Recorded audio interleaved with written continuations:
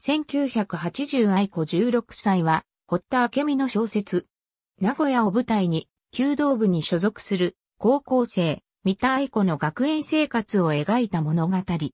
堀田は、愛知県立中村高校在学中の1981年、本作により当時史上最年少の17歳で文芸賞を受賞した。単行本は同年12月に川出書房新社より出版されている。好きなおしゃべりをしている時の気持ちが描写されているなど、高校生の年代の女性の気持ちを描写した小説として同世代の共感と他世代の評価を得た。愛子16歳のタイトルでテレビドラマ、映画も作られ、テレビドラマは続編も制作されている。1980愛子16歳のタイトルで漫画版が飯塚信子の作画で発表されている。TBS テレビの市川哲夫が川出書房からドラマ化権をいち早く獲得。アイドルだった伊藤司を主演にドラマ化した。母役に加賀まり子、先生役に大谷直子、学生起業家に三浦洋一。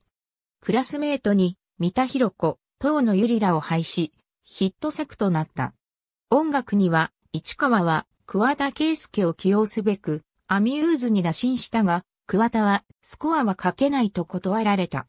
しかし、アミューズは企画には関心を持ち、翌年、富田康子で映画化した。進む学校に通う、弓道部員、三田愛子16歳の目下の関心事は、一向に上達しない、自身の弓道の腕前と男子部員にこびる、女子部員、花岡紅子への憤りだった。中学時代の旧友との決別、元彼との別れ、教師との論争などに学校生活を送っていた愛子が、クラスメートからの中絶カンパの要請を受けたり、発作的に手首を切ってみたり、同じ学校生徒の自殺などを経て、元彼の事故死を眼前で目撃する。男子部員は、紅子のブリッコにすぐ騙される。愛子の通う高校。1982年に、愛子16歳というタイトルで、全2回、1984年に、愛子17歳というタイトルで、全2回の計4回が TBS 系列の日立テレビシティで放送された。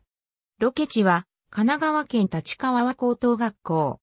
1984年版は一部キャストが変更されている。は1982年版のみ、は1984年版のみの担当。出演の高校生役はすべてオーディションで選ばれ、主演の愛子役は12万7千人の応募者の中から中学3年生の富田康子が選ばれた。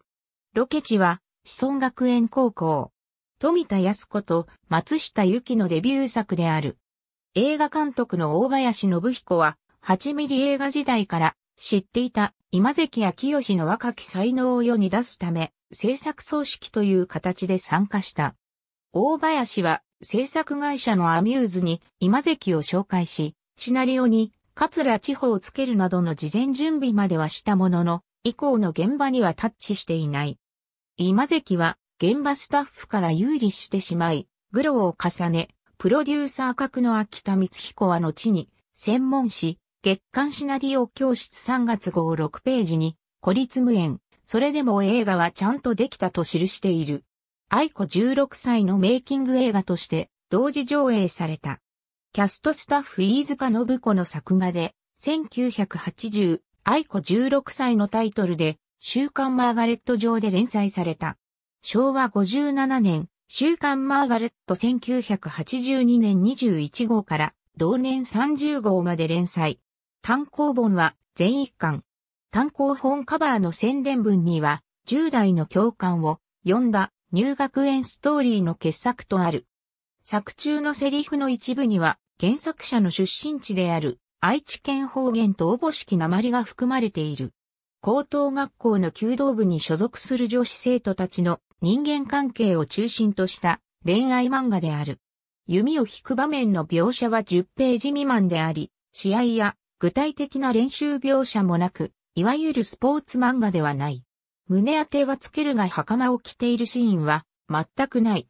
大林信彦、映画、この指とまれ徳間書店、アニメージュレーベルアニメージュ文庫、1990年、123ページ。ISBN-4 から19から66万9627から9。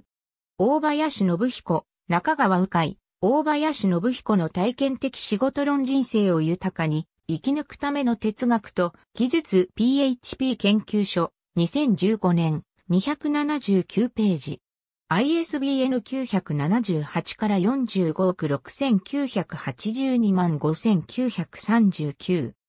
この記事は以下のカテゴリーからも参照できます愛子16歳に関するカテゴリー、グッドバイナツのうさぎに関するカテゴリー、1980愛子16歳に関するカテゴリー。ありがとうございます。